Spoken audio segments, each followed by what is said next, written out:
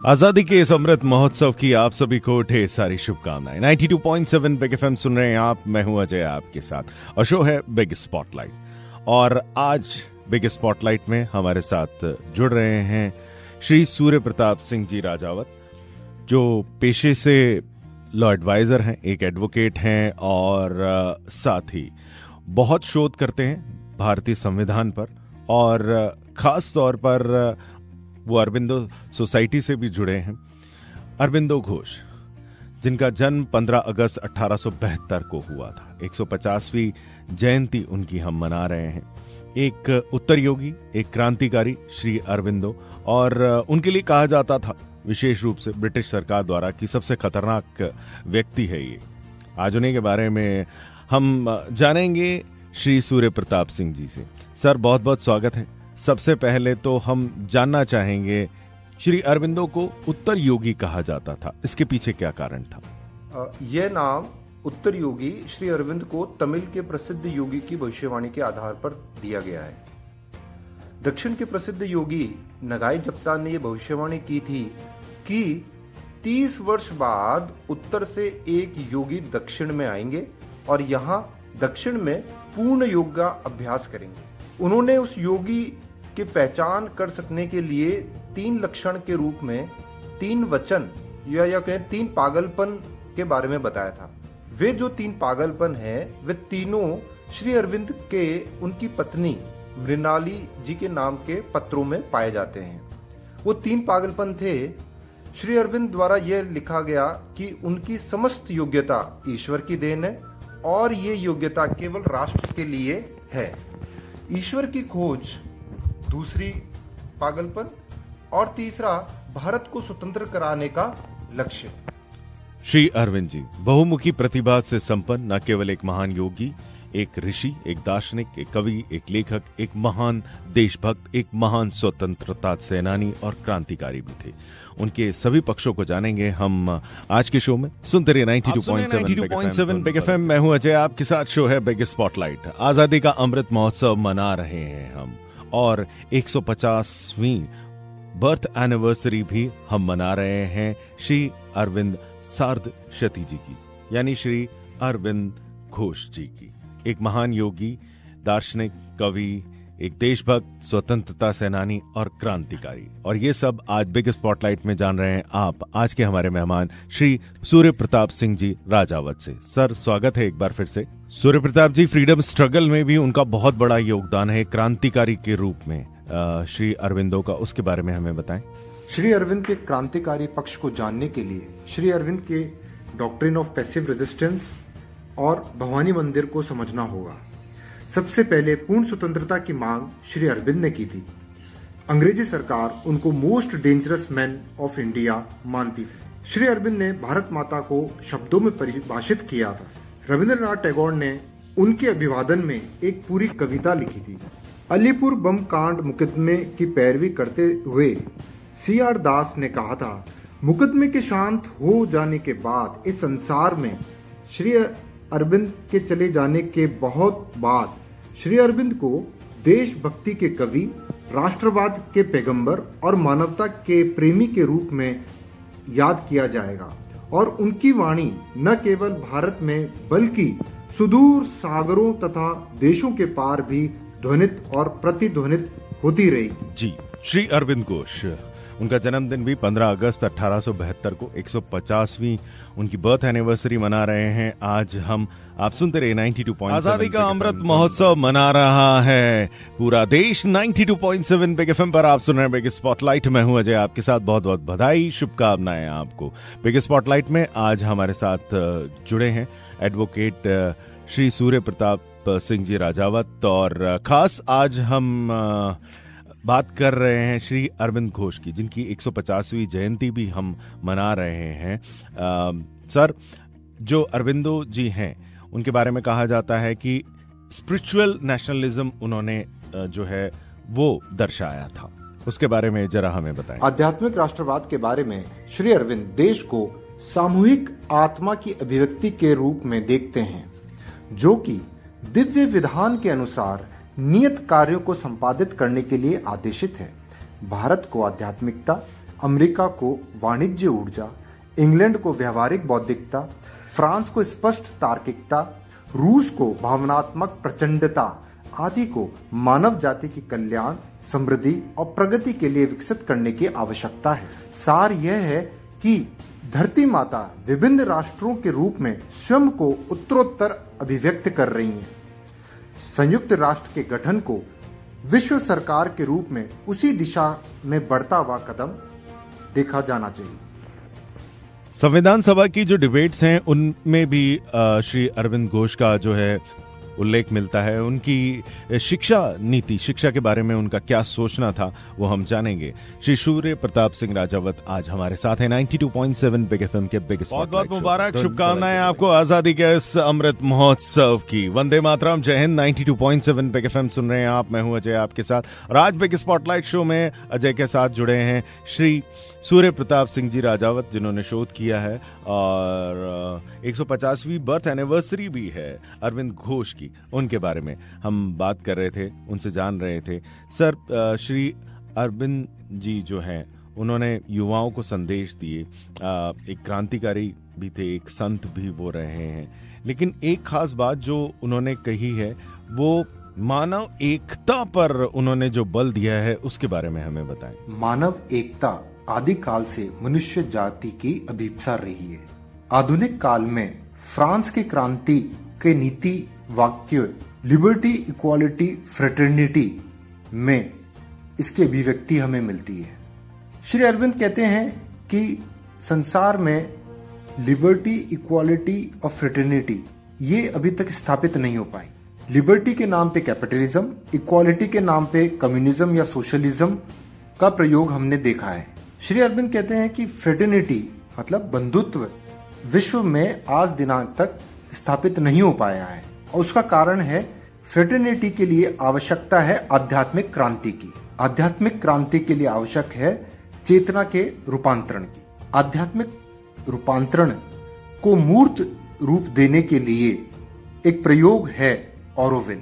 औरोविल के विचार को संयुक्त राष्ट्र की सभा ने चार बार अनुमोदन किया है। जी तो सूर्य प्रताप सिंह जी हमारे साथ जुड़े हुए हैं। 92.7 बिग एफएम पर आप सुन रहे हैं बिग स्पॉटलाइट आज़ादी का दिन है। आज़ादी का अमृत महोत्सव मना रहे हैं हम। 92.7 बिग एफएम सुन रहे हैं आप। मैं हूँ अजय आपके साथ हर घर तिरंगा है।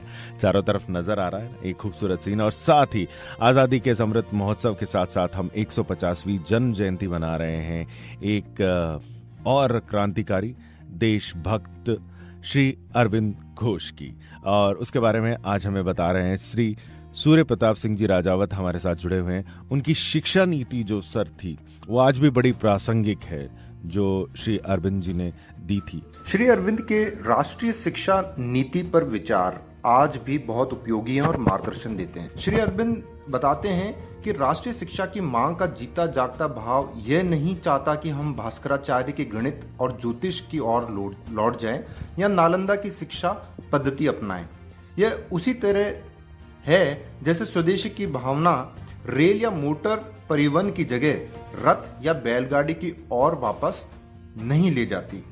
यहाँ चुनाव है बाहर से लाई गई सभ्यता और भारतीय मन और स्वभाव की अधिक महान संभावनाओं के बीच वर्तमान और अतीत के बीच नहीं, वर्तमान और भविष्य के बीच। पांचवी शताब्दी की ओर वापस जाने के नहीं, आने वाली शताब्दियों के उपक्रम की मांग है। राष्ट्रीय शिक्षा नीति 2020 के डॉक्यूमेंट को जब हम पढ़ते हैं, तब हम ये पाते हैं कि इन्हीं सिद्धांतों को केंद्र में रखा गया है। जी, बिल्कुल सच है। तो आज बिग स्पॉटलाइट शो में हमारे साथ श्री सूर्य प्रताप सिंह जी राजावत जी जुड़े हुए हैं और हम बात कर रहे थे कर्मयोगी एक क्रांतिकारी श्री अरविंद घोष के बारे में। सुनते रहे 92.7 बिग एफएम शो है बिग स्पॉटलाइट आज़ादी के अमृत महोत्सव की आप सभी को शुभकामनाएँ। और एक मौका और है श्री अरविंद घोष। जिनकी 150वीं हम बर्थ एनिवर्सरी मना रहे हैं आज श्री सूर्य प्रताप सिंह जी राजावत हमारे साथ हैं जो शोध कर रहे हैं उन पर जुड़े हैं आ, उनके संदेशों के साथ आ, उसे प्रसारित करते हैं। सर आ, जब हमारा देश आज़ाद हुआ था 15 अगस्त उन्नीस सौ सैंतालीस को तब उन्होंने जो भाषण दिया था एक महत्वपूर्ण संदेश दिया था वो भी बहुत ज़रूरी है। आज हम उसे डिस्कस करें। श्री अरविंद के 15 अगस्त के भाषण के बारे में मैं आपके ज़रिए, एफएम के ज़रिए सभी को ये बताना चाहूँगा कि आज भारत अमृत महोत्सव मना रहा है। और इस अमृत महोत्सव में श्री अरविंद का जो भाषण उन्नीस सौ सैंतालीस में दिया गया, उसे हमें बार बार पढ़ना चाहिए। वो आज भी बड़ा महत्वपूर्ण और सारगर्भित है। उस भाषण में श्री अरविंद पाँच संकल्पों के बारे में बताते हैं, जिसमें पहला था श्री अरविंद का भारत विभाजन का विरोध। दूसरा, श्री अरविंद बात करते हैं एशिया के उत्थान की। तीसरी, वैश्विक स्तर पर संयुक्त राष्ट्र की भूमिका के बारे में बताते हैं। भारत का विश्व को आध्यात्मिक देन और अंत में पाँचवें संकल्प के बारे में श्री अरविंद बताते हैं कि विकास क्रम की प्रक्रिया में योग की महत्वपूर्ण भूमिका, जिसमें भारत की अग्रणीय भूमिका अपेक्षित करते हैं। श्री अरविंद अपने पाँच संकल्पों में। जी तो जानेंगे आज हम 150वीं जन्म जयंती के अवसर पर श्री अरविंद घोष के बारे में। सुनते रहिए 92.7 आप सुन रहे 92.7 बिग एफएम मैं हूँ अजय आपके साथ आज़ादी के 75 वर्ष आज़ादी का अमृत महोत्सव। शुभकामनाएँ आपको मैं हूँ अजय आपके साथ और बिग स्पॉटलाइट शो में आज श्री सूर्य प्रताप सिंह जी राजावत हैं और मैं आपको यहाँ एक चीज़ और बता दूँ कि आज़ादी के इस अमृत महोत्सव पर हम श्री अरविंद सार्ध शती महोत्सव, यानी कि 150वीं उनकी बर्थ एनिवर्सरी भी मना रहे हैं और उनके बारे में जान रहे थे, जिनके लिए रिसर्च कर रहे हैं आज के हमारे बिग स्पॉटलाइट के मेहमान, श्री सूर्य प्रताप सिंह जी।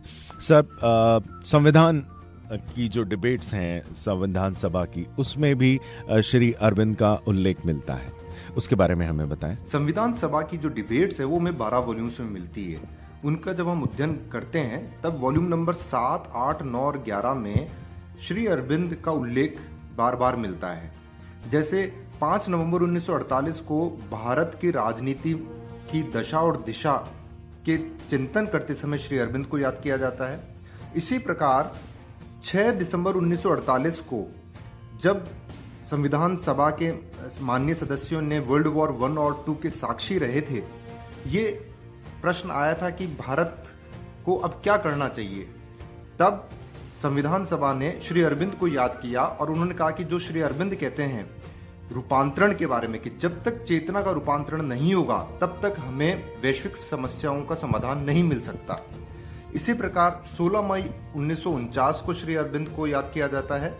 31 अगस्त उन्नीस सौ उनचास को स्पष्ट रूप से संविधान सभा ये कहती है कि पश्चिम हमारी तरफ़ देख रहा है और हमें भारत को जिसके पास आध्यात्मिक ज्ञान है, उस ज्ञान को पूरे संसार में हमें मार्गदर्शन देना चाहिए। और इसके लिए भी श्री अरविंद को याद करते हैं। इसी प्रकार 25 नवंबर उन्नीस सौ उनचास को श्री अरविंद के जो क्रांतिकारी रूप था, उसको याद किया जाता है।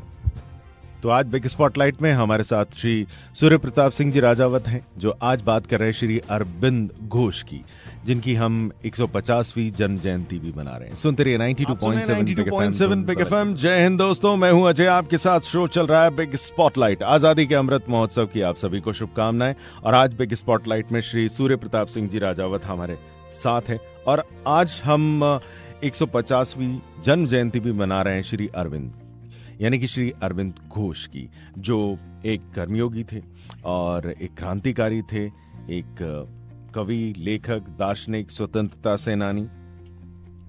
सर, ये बताएँ कि उन्होंने एक सपना देखा था स्वतंत्र भारत के लिए। कैसा होना चाहिए, क्या होना चाहिए? श्री अरविंद की स्वतंत्र भारत से अपेक्षा थी कि भारत आध्यात्मिक ज्ञान को पुनः प्राप्त करे, संसार की समस्याओं को चिन्हित करे और उसके बाद उन सभी समस्याओं को आध्यात्मिक ज्ञान के माध्यम से समाधान करे। श्री अरविंद भारत को विश्व का चिकित्सक मानते हैं। श्री अरविंद भारत को विश्व गुरु मानते हैं। श्री अरविंद भारत में सृजनात्मकता, बौद्धिकता का आधार आध्यात्मिकता मानते हैं। परंतु इसके साथ गरीबी को आध्यात्मिकता की शर्त या साधन मानने वाले वे सन्यासी नहीं थे। वे गरीबी को अध्यात्म का विरोधी तत्व समझते थे। वे साफ़ लिखते हैं, गरीबी का अस्तित्व पक्का सबूत है कि समाज अन्यायपूर्ण, गलत ढंग से संगठित है। दान देने की बात डाकू के हृदय में उठने वाली आत्मग्लानी की पहली अलसाई जागृति भर है। श्री अरविंद ने आत्मरक्षा में आक्रामकता को सही ठहराया था। जी। सर बहुत बहुत धन्यवाद हमारे साथ जुड़ने के लिए। और मैं सिर्फ़ सबसे यही कहना चाहूँगा कि चलिए, मिलजुल करके एकता के सूत्र में फिर से बन जाएँ। आज़ादी का ये अमृत महोत्सव, जोशो खरोश के साथ मनाएँ, पूरी प्रसन्नता के साथ मनाएँ। और भारत की प्रगति के लिए, देशभक्ति के लिए जो कुछ कर सकते हैं, देश के लिए वो ज़रूर करें। यही सदेश था हमारे महापुरुषों का। सुनते रहे 92.7 बिग एफएम धुन बदल के तो देखो।